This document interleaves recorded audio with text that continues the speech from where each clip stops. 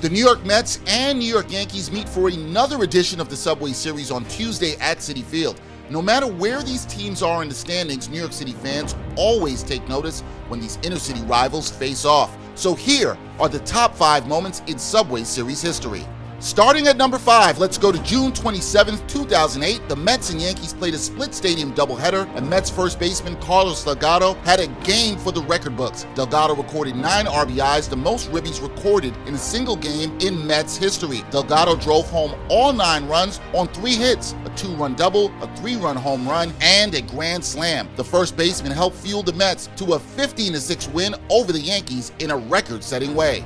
Coming in at number 4, May 19th, 2006, the Mets trailed 5-3 at one point in this game, but in the bottom of the ninth with the game tied, David Wright stepped up to the plate to face Yanks closer Mariano Rivera.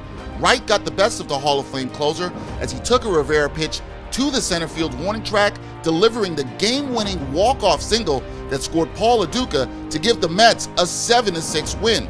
Number three, who can forget this one? Yankees are down to their final out, down 8 to 7 with two runners on. A Rod hits a pop up to shallow right field with Mets second baseman Luis Castillo getting in position to catch the pop up and seal the win, but he drops the ball. He dropped the ball. The ball popped out of Castillo's glove, and both runners score, and the Yankees win. Fans of the Bronx Bombers went from heartbreak to celebration in an instant in what will always be remembered as the drop. Number two, we call this one the Roger Clemens and Mike Piazza trifecta, as the story is told in three parts, all happening in the 2000 season. The first taking place on June 8th. In the top of the third inning, bases loaded, and Clemens hung a slider over the middle, and Piazza crushed a grand slam to dead center field. But Clemens would not forget that blast. Go to later in the season on July 15th the second game of a day-night two-stadium doubleheader. Clemens drills Piazza in the head, and Piazza went down immediately, laying on the ground at home plate. Piazza would leave the game. But the ultimate moment between these two came in Game 2 of the World Series, October 22nd, at Yankee Stadium.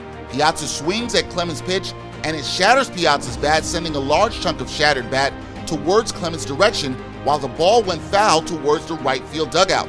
Clemens then proceeds to throw the broken bat shard towards Piazza, who's running down the first base line. And the bench is clear immediately as replays showed the broken bat bouncing into Clemens and Clemens throwing the shard at Piazza. Needless to say, there was no love lost between these two heated rivals.